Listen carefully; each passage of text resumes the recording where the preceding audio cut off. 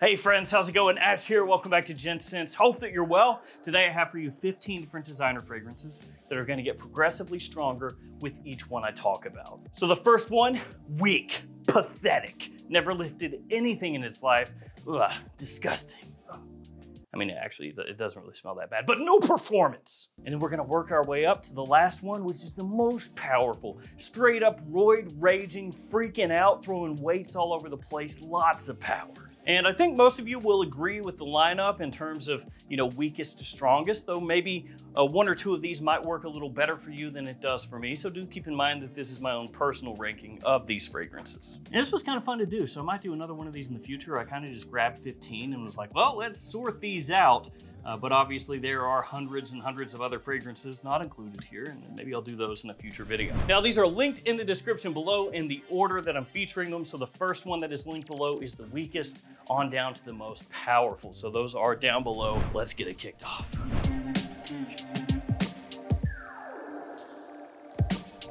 All right, let's get it kicked off with the weakest of them all, 47 11. Now 4711 does not smell bad. This stuff is actually really refreshing, which is actually what it's meant to do. It's not really a fragrance that's supposed to be really strong. It's not a fragrance that's supposed to last a long time. It's one that's made to just give you a boost, essentially. And it actually does a really good job at that. And it's also really cheap. So this is not the type of fragrance where you can say, oh, you know, it cost me so much, but it's really weak. Nah, stuff is like pennies for a milliliter. It looks like I'm gonna take a drink of this right now.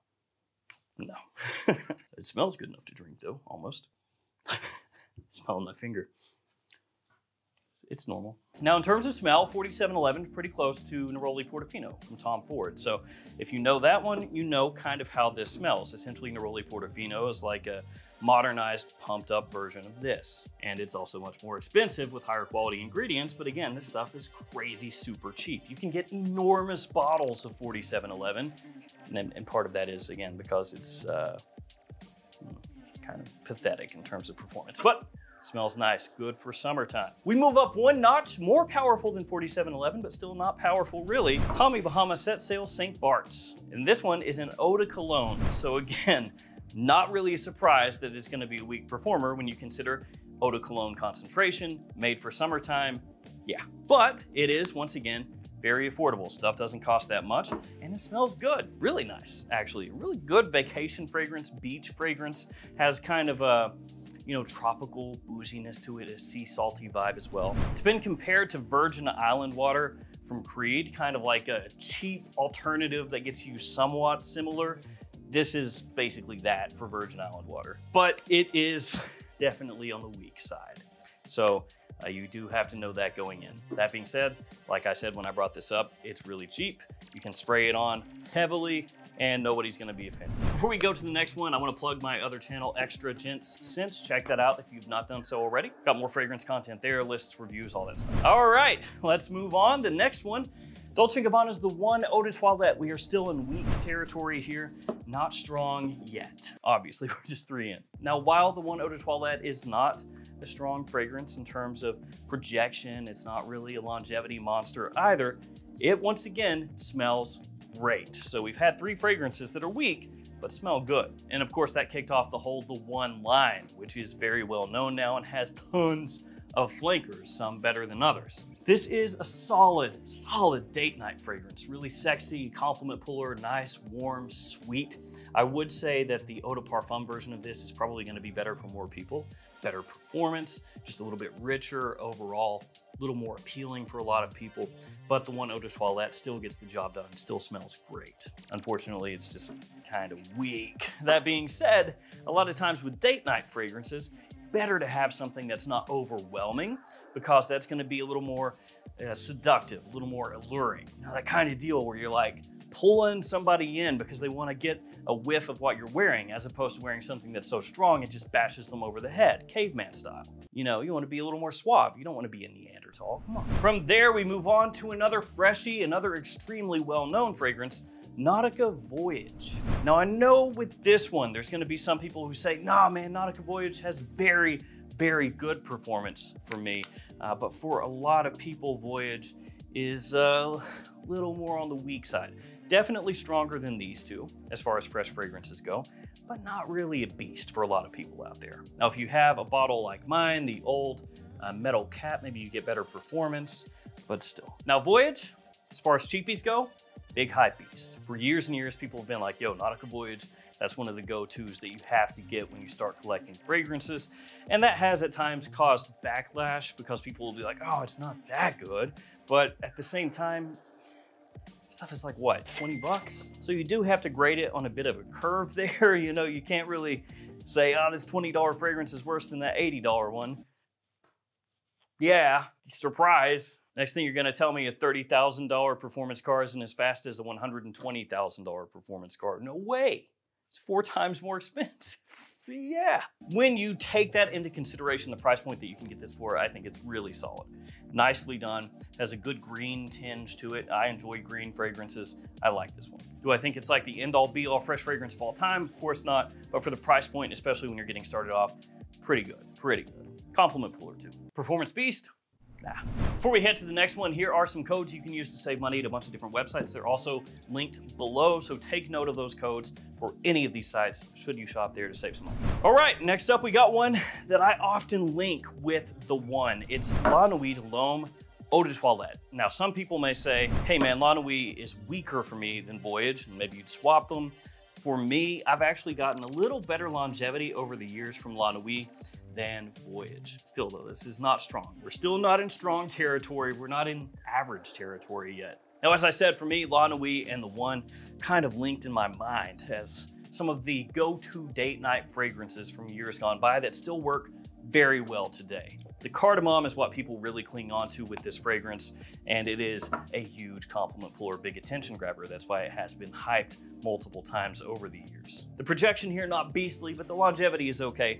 And with it being that type of date night fragrance, like I talked about with the one where you want to, you know, have that alluring feel, it crushes that. So La Nuit, gonna go in right there. After that one, we have Burberry London, my itty bitty one ounce bottle. So Burberry London is another fragrance in the style of La Nuit and the one in that it's more of a fall winter time warm, spicy scent profile that also is not really that strong. Now, if you've never smelled Burberry London, it smells great. Uh, it has kind of a holiday vibe to it, a holiday feel to it. So it's gonna remind a lot of people of you know, basically November through December, you know, like that time frame when people were gathering uh, together like families and everything and having big meals and all that stuff. That's kind of when this gets lumped into use. It has port wine as a note, along with uh, tobacco, a lot of spices in there. Really cozy, smells nice, uh, overlooked a lot of times nowadays.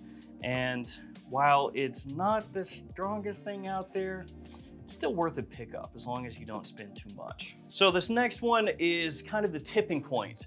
Uh, this one I feel like for the type of fragrance it is, is completely passable in terms of performance. And it's right down the middle. You know, it's good, it's not great, but it's also not bad.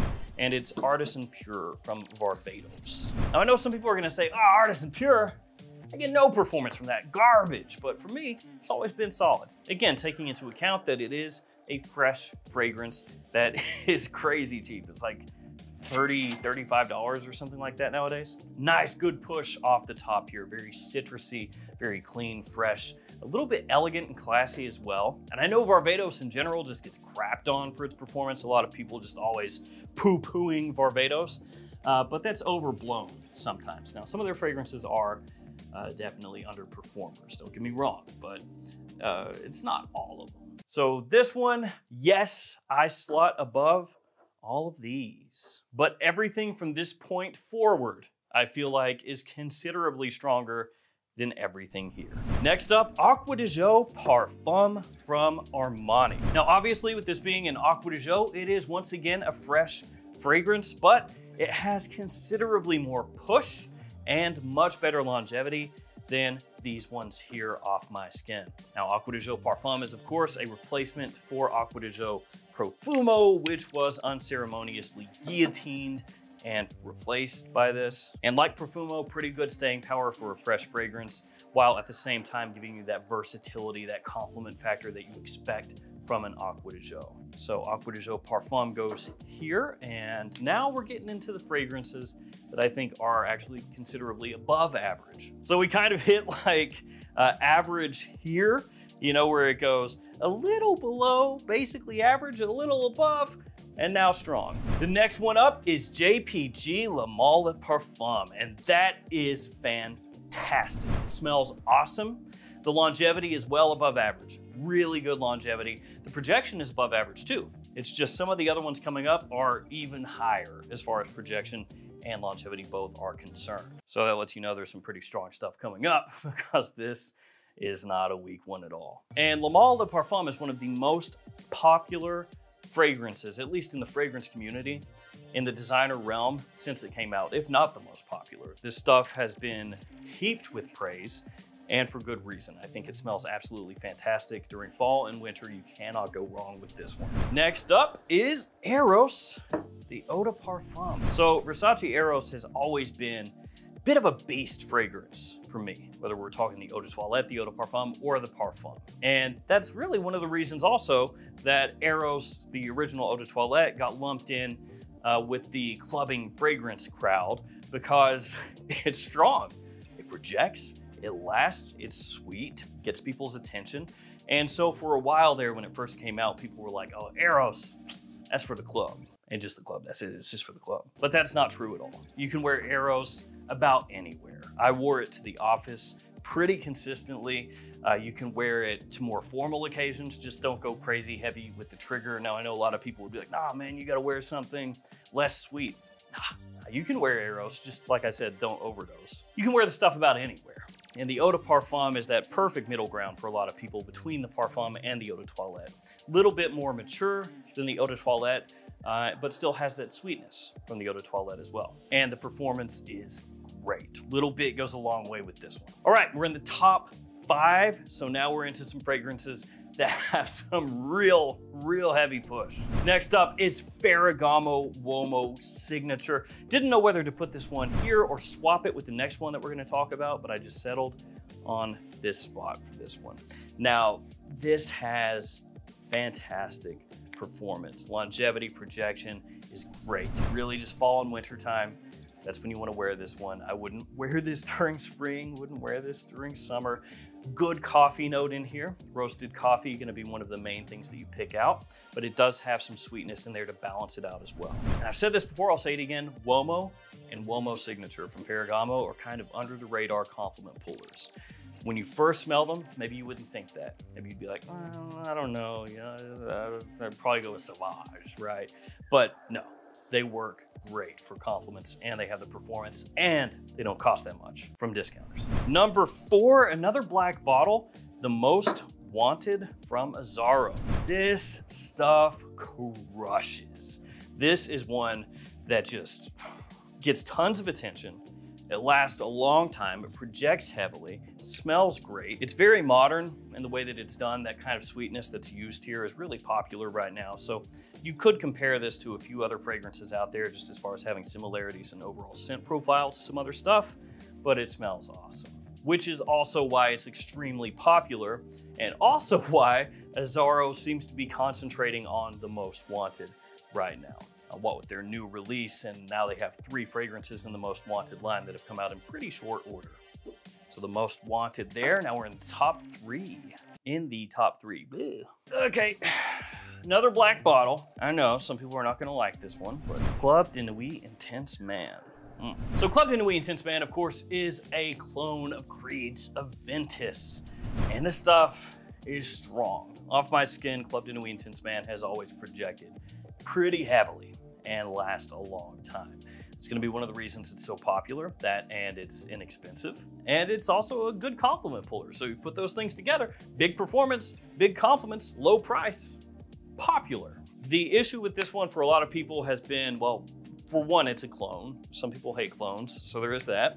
Uh, but the opening, the opening can be a little iffy, a little bit too much lemon, you know, a little harsh, a little bit chemically. Once it settles though, which doesn't take too long, smells really good, especially in the air.